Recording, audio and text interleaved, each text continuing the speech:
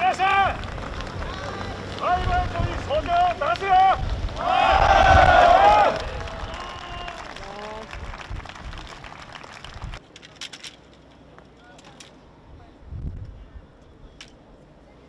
本日私たちはなりわいを返せ地域を返せ福島原発訴訟を、えー福島地方裁判所に提起しました。本件訴訟においてまず第一に地域を汚染した放射性物質を事故前の状態に戻すこと現状回復を求め次に現状回復がなされるまでのせまでの間の、えー精神的な苦痛に対する慰謝料の支払いを求めていますえー原告ですけれども、おちょうど800名になります。えー2011年3月11日、えー事故当時にですね、えー福島県、宮城県、山形県、栃木県、茨城県にお住まいだった方が、えこの裁判、第一次訴訟の原告という形になっています。800名になります。国と東京電力の原発を推進してきた責任をきっちりとやっぱり確定をすることによって初めて被災者あるいは被災地の救済復旧は成し得ると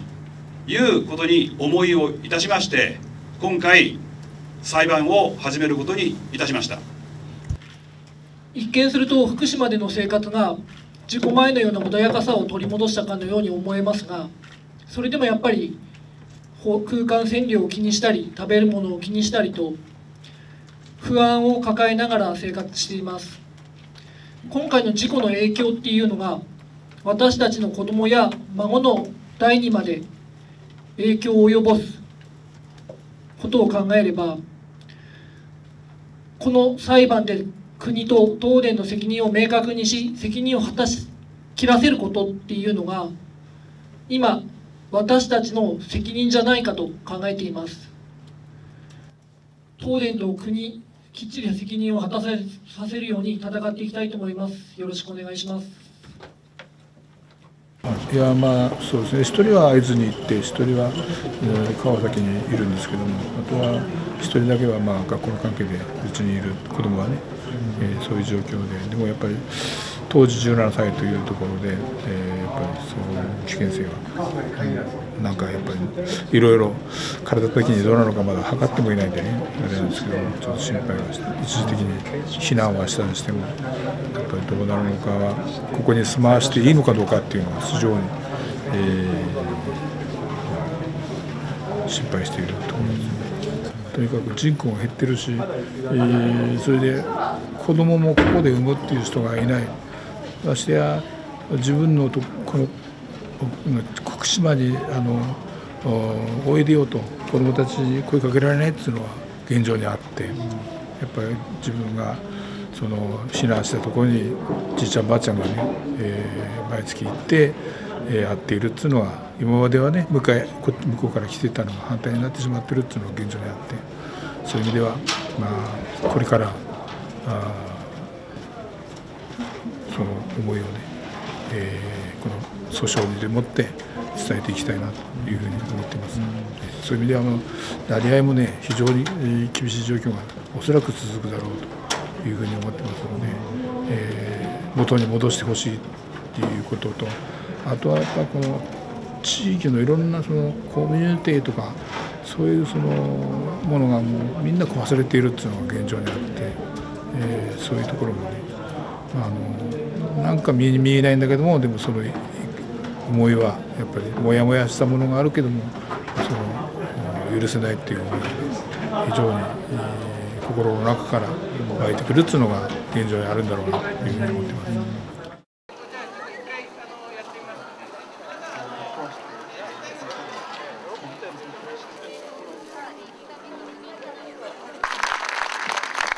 こんにちは。政府が考えている防潮堤、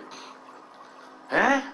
?14 メーター以上の高さに、幅は90メーターから100メーターの防潮堤が津波は止めますか？止めません。止めない。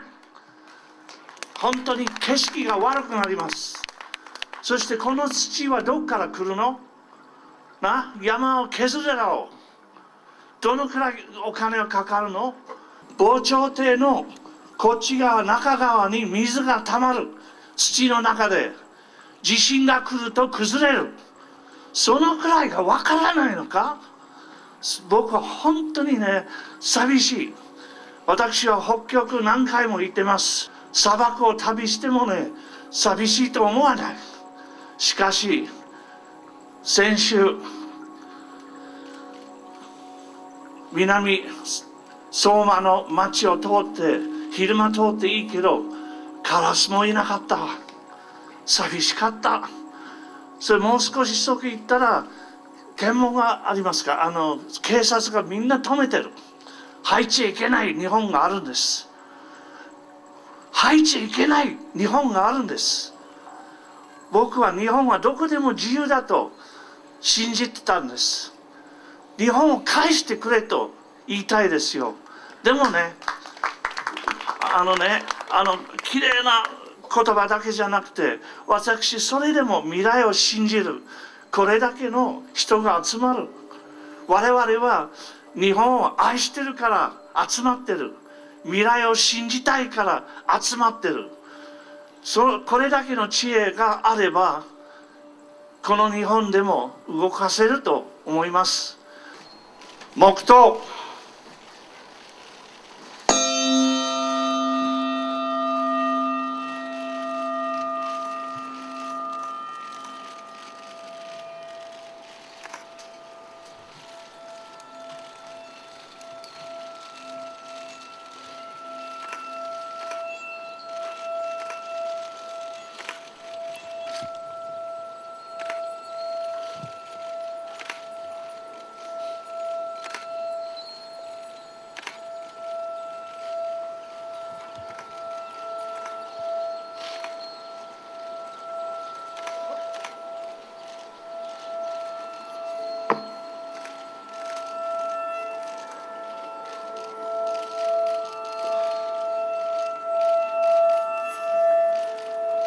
分経ちました。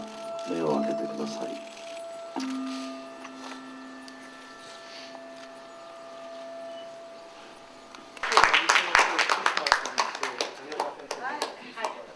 参議院の事務総長のところに法案の提出に行ってあの帰ってこられましたので本日は東日本大震災から2周年ということで、えー犠牲になられた皆さんに心から哀悼の意を表明するとともにまだにえ大変厳しい避難生活を送っていらっしゃる皆さんにお見舞いを申し上げたいと思います。いまだにふるさとを追われえ避難生活を送っていらっしゃる方たくさんいらっしゃいます。そういう皆さんの思いにも応えるという意味でこの3.11 3月11日にどうしても脱原発基本法案を提出したいということで、え市民の皆さんと共に力を合わせて作ってきたこの法案を提出できたということで皆様のご協力に改めてえ心から感謝を申し上げたいと思います。脱原発基本法311における提出と言いますのはほとぼりは冷めないぞ風化はさせないぞという国会からのメッセージだというふうに思っています。たまたま女性が4人発議者となりました。これは偶然だとは思っておりません。命を産み育て守るそういう性としての女性たち。経済よりもやはり子どもの健やかさ環境の健やかさを願う女たちの願いというのは本当に強いと思います。これを私たちはたまたまやっぱり集まってしまったんだ。4人がこういう形で女性であってしまったんだというふうに思っていますしこの過半数の有権者の皆さんと共にある女性であることを私たち今とても誇りに思っているところでございます。凄まじい原発事故を経験した日本でまさに2周年の3月11日この法律を出し成立まで全力で頑張りたいと思います。ぜひ応援をしてください。よろしくお願いいたします。ありがとうございました。